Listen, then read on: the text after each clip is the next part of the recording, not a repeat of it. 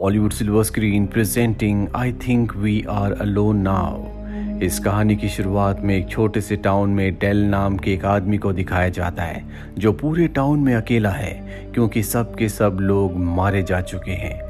लोगों के मरने की क्या वजह है, किसी को कुछ नहीं पता। एल हर सुबह उठकर ब्रश करता है, अपनी डेली ड्यूटीज़ को पूरा करता है और इसके बाद गाड़ी से निकल जाता है।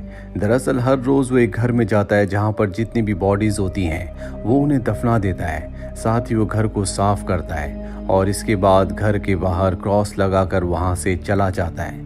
अपने खाने के लिए आसपास की जगहों से फ़ूड भी इकट्ठा करता है। एल के पास एक मैप भी है जो कि पूरे शहर का मैप है और जिस भी घर को क्लीन करता है, वो मैप पर भी क्रॉस का निशान लगा देता है, जिससे उसे पता चलता रहता है कि उसने कितने घरों को साफ़ कर दिया है। रात को जब डेल सो रहा होता है, तभी उसे पटाखों की आवाज़ आती है जिससे वो डर जाता है, क्योंकि वो इस पूरे टाउन में अकेला बचा है। हालाँकि उसके दिल में जिज्ञासा जागती है कि वो जाए और देखे, पर उसकी हिम्मत नहीं होती क्योंकि ये रात का वक्त होता है। इसीलिए अगली सुबह वो बाहर जाता है, जहाँ वो सड़क के किनारे कार को देखता है जिसका एक्सीडेंट हुआ था। दरअसल ये कार एक दिन पहले यहाँ पर नहीं थी। इसीलिए डेल उस कार के पास जाता और देखता है कि उसके अंदर एक लड़की है जो बेहोश है। साथ ही गाड़ी के पीछे गन भी होती है। वो उस लड़की को घर ले आता और कमरे में बंद कर देता है, क्योंकि उस लड़की के पास गन थी। कुछ देर बाद जब उस लड़की को होश आता है तो वो अपने आप को कमरे में देखकर हैरान हो जाती है, क्योंकि उसको भी यही लगता था कि इस दुनिया में सिर्फ़ वही अकेली बची है। वो दरवाज़ा खोलने की कोशिश करती है, लेकिन दरवाज़ा लॉक्ड होता है। इसके बाद वो दरवाजे को नॉक करती है। एल समझ जाता है कि वो लड़की जाग चुकी है, इसीलिए वो दरवाजे के पास आता है और उस लड़की से पूछता है, क्या तुम अकेली हो? वो लड़की कहती है कि मैं पिछले कई दिनों से अकेली हूँ, इसीलिए लगातार ट्रेवल कर रही थी। डेल पूछता है कि तुम्हारे पास गन कहाँ से आई? वो कहती है कि गन मुझे रास्ते में मिली थी। मैंने अपनी सेफ्टी के लिए अपने पास रख ली। डेल दरवाज़ा खोल देता है, पर वो कहता है कि तुम यहाँ पर नहीं रह सकती। दरअसल डेल उस लड़की को अपने पास नहीं रखना चाहता। इसीलिए लड़की को बाहर आने के लिए कहता है, उसकी गाड़ी की चाबी उसे देता और कहता है कि तुम यहाँ से चली जाओ। वो लड़की कहती है कि मेरा नाम ग्रेस है। मैं नहीं जानती कि मुझे कहाँ जाना चाहिए। मैं तुम्हारे साथ रहना चाहती हूँ। पर उसकी बात का वो कोई जवाब नहीं देता और वहाँ से चला जाता है। डेल एक लाइब्रेरी में जाता है, जहाँ पर वो रहता है। दरअसल ग्रेस को जिस घर में ले गया था, वो उसका घर नहीं था। वो यहाँ लाइब्रेरी में रहता है। ग्रेस भी उसका पीछा करते हुए यहाँ पहुँच जाती है। लेकिन वो ग्रेस को देखकर कुछ नहीं कहता, बल्कि उसे खाने के लिए कुछ खाना देता है। खाना खाते हुए ग्रेस उससे पूछती है कि तुम्हारे चारों तरफ़ डेड बॉडीज हैं। ये पूरा का पूरा शहर खत्म हो चुका है। क्या तुम्हें अकेले रहते हुए अजीब नहीं लगता? एल को उसकी ये बात अच्छी नहीं लगती। वो कहता है कि पहले शहर में 1600 लोग रहा करते थे, लेकिन तब भी मैं पूरी तरह से अकेला था। इसीलिए मुझे किसी के होने, ना होने से कोई फ़र्क नहीं पड़ता। और ये कहकर वो उठकर वहाँ से चला जाता है। उसका बिहेवियर बहुत ज़्यादा रूड होता है। इसीलिए ग्रेस डिसाइड करती है कि वो डेल के साथ नहीं रहेगी। वो अपनी गाड़ी में जाती है और यहाँ से जाने वाली होती है कि तभी डेल आ जाता है। डेल को अपनी गलती का एहसास है। वो ग्रेस से कहता है कि तुम मेरे साथ रह सकती हो। ग्रेस भी वहाँ पर रुकने का फैसला कर लेती है, जिसके बाद डेल उसे बताता है कि कैसे वो हर रोज एक घर में जाता है, जिस घर को क्लीन करता है, और उस घर में जितनी भी बॉडीज होती है, उन्हें दफना देता है। साथ ही वो उसे ये भी कहता है कि घर में जितने भी इलेक्ट्रॉनिक्स की चीज़ें हैं, उन सबको हमें इकट्ठा करना है। अभी एक घर में जाते हैं, जहाँ से बॉडी को उठाकर ये दफना देते हैं। दफनाने के बाद वहाँ से डेल जाने लगता है। ग्रेस कहती है कि ये इंसान है, हमें इनके लिए प्रेयर करनी चाहिए। डेल उसकी बात मान जाता है और ग्रेस के साथ वो भी प्रेयर करता है। जैसे जैसे दिन बीतते हैं, डेल और ग्रेस की दोस्ती होना शुरू हो जाती है। ये दोनों एक दूसरे की कंपनी बहुत इंजॉय करते हैं। एक दिन डेल को ग्रेस घर पर ढूंढ रही होती है, लेकिन वो घर पर नहीं होता, इसीलिए वो नीचे बेसमेंट में जाती है, जहाँ पर उसे उन लोगों की फ़ोटोज़ मिलती है, जिनके घर अब तक डेल ने साफ़ कर दिए हैं।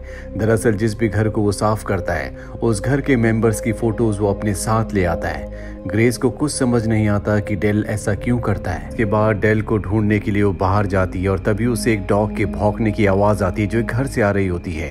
जब वो घर के अंदर जाती है तो वहाँ पर उसे डॉग मिलता है, जिसे पाकर वो बहुत खुश होती है और उस डॉग को वो अपने घर ले आती है। हालाँकि शुरू में डेल डॉग को देखकर खुश नहीं होता पर जल्द ये दोनों डिसाइड करते हैं कि ये इसका नाम डॉग ही रखेंगे। धीरे धीरे दिन बीतते चले जाते हैं और इन दोनों के बीच में जो बॉन्ड होता है वो और भी स्ट्रांग हो जाता है। ग्रेस कभी कभी अपने पेरेंट्स को, अपने परिवार को बहुत मिस करती है। साथ ही उसकी गर्दन के पीछे एक निशान भी होता है, जिसे वो हमेशा डेल से छुपाती है। एक दिन डॉग डेल की एक बुक को फाड़ देता है। डेल को बुक से बहुत पसंद है, इसीलिए वो लाइब्रेरी में रहता है। और तभी ग्रेस इसे देख लेती है, वो उसे रोकती है। डेल भी वहाँ पर आ जाता है। ग्रेस डेल से सॉरी कहती है।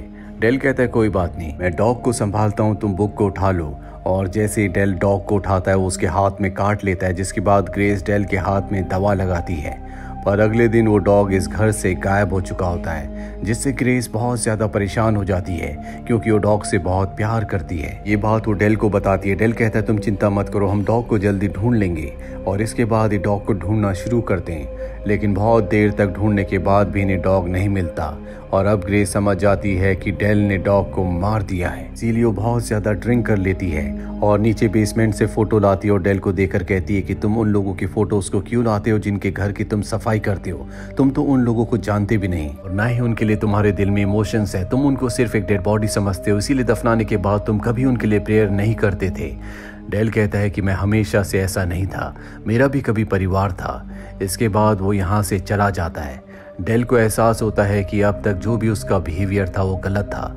इसीलिए ग्रेस को वो एक ग्रीन हाउस ले जाता है। यहाँ आने के बाद ग्रेस को बहुत अच्छा लगता है। ग्रेस भी अब डेल को माफ़ कर देती है क्योंकि वो समझती है कि उसके साथ जो कुछ भी हुआ होगा, उसकी वजह से वो पूरी तरह से बदल गया। अगले दिन हर दिन की तरह ये लोगों के घरों को साफ़ करने के लिए निकल पड़ते हैं। लेकिन अब ये अलग अलग लोगों के घरों को साफ़ करते हैं। इनके पास वॉकी टॉकी है, जिससे एक दूसरे से कनेक्ट रहते हैं। ये लगभग सभी घरों को साफ़ कर चुके हैं, इसीलिए अब इन्हें कम ही घर मिलते हैं जिन्हें इन्हें साफ़ करना है। घर ढूंढते ढूंढते ग्रेस बहुत आगे निकल जाती है, जहाँ पर उसे एक घर मिल जाता है। वो रेडियो से वॉकी टॉकी से डेल को भी उस जगह बुला लेती है। डेल जब उस घर के अंदर पहुँचता है तो ग्रेस पहले से सफ़ाई कर रही होती है। डेल यहाँ पहुंचकर बहुत इमोशनल हो जाता है। वो ग्रेस से कहता है कि हमें यहाँ पर सफ़ाई करने की कोई ज़रूरत नहीं है। ग्रेस समझ जाती है कि ये डेल का घर है। डेल अपने परिवार वालों की बॉडीज को फेस नहीं करना चाहता, इसीलिए यहाँ से जाना चाहता है। पर उसके अंदर हिम्मत आती है और वो तय करता है कि वो इस घर को ग्रेस के साथ मिलकर साफ़ करेगा। इसके बाद वो अपने परिवारजनों की बॉडीज को दफना देता है। वो उनके लिए प्रेयर भी करता है। और जब घर वापस आता है तो ग्रेस डेल से कहती है कि मैं तुम्हें कुछ कहना चाहती हूँ। डेल कहता है कि कहो, और तभी वो उसे किस कर लेती है। इसके बाद डेल सो जाता है। और सुबह जब उसकी नींद खुलती है तो उसे नीचे से किसी के बात करने की आवाज़ें आती है। जिन आवाजों को सुनकर वो डर जाता है, क्योंकि ग्रेस के अलावा इस घर में कोई भी नहीं है। वो गन लेकर नीचे जाता है। हाँ वो देखता है कि एक कपल घर पर है, जो कि ग्रेस के मॉम डैड है। ग्रेस के डैड ग्रेस से कहते, क्या तुमने डेल को हमारे बारे में नहीं बताया? ग्रेस के चेहरे पर डर होता है। ग्रेस के डैड कहते हैं कि अब भी ऐसे बहुत सारे इंसान हैं जो ज़िंदा हैं, जिनमें कुछ डॉक्टर्स भी हैं और वो दूसरे लोगों का इलाज कर रहे हैं। लेकिन डेल को ये सब कुछ अच्छा नहीं लगता, इसीलिए वो घर से बाहर आ जाता है। ग्रेस भी उसके पीछे बाहर आती है। डेल कहता है कि तुमने मुझे इस बारे में कभी क्यों नहीं बताया? ग्रेस बताती है कि ये मेरे असली मॉम डैड नहीं है, बल्कि इन्होंने मुझे अडॉप्ट किया था, और जैसे दिखते हैं वैसे नहीं है। हालाँकि वो उसे बहुत कुछ बताना चाहती है, लेकिन डेल उसकी बात नहीं सुनता, और गाड़ी लेकर वहाँ से निकल जाता है। शाम को जब वो घर वापस लौटता है तो ग्रेस के डैड कहते हैं कि हम अपनी बेटी को कैलिफ़ोर्निया लेकर जा रहे हैं। अगर तुम चाहो तो तुम भी हमारे साथ आ सकते हो।